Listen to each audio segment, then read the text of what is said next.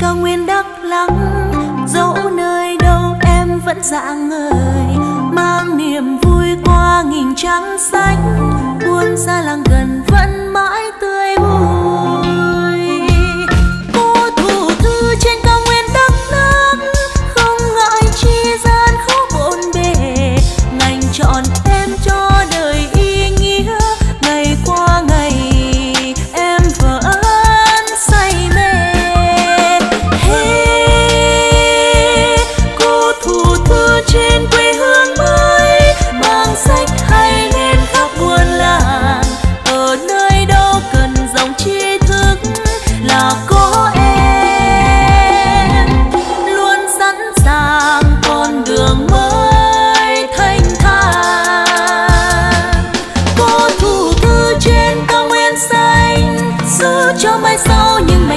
văn hóa. Dù cho xa xôi nhưng không nề vất vả. Tự hào là em, tự hào là em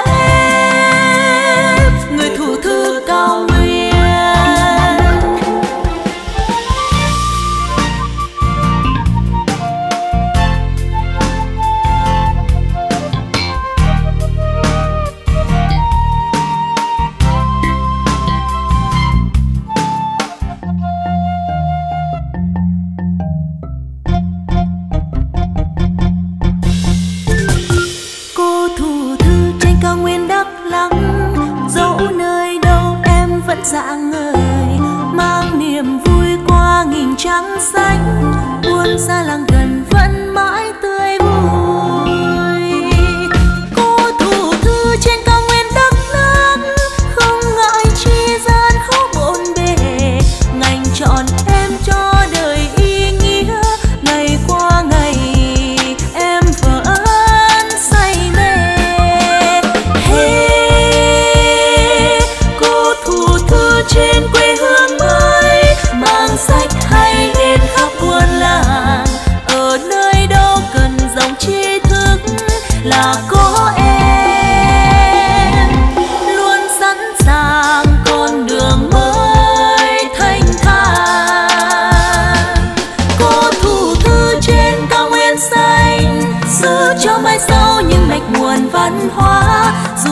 xa xôi nhưng không nề vất vả. Tự hào là em, tự hào là em.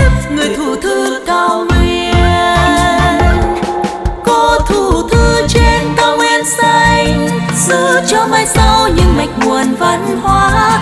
Dù cho xa xôi nhưng không nề vất vả. Tự hào là em, tự hào là em. Người thủ thư cao nguyên.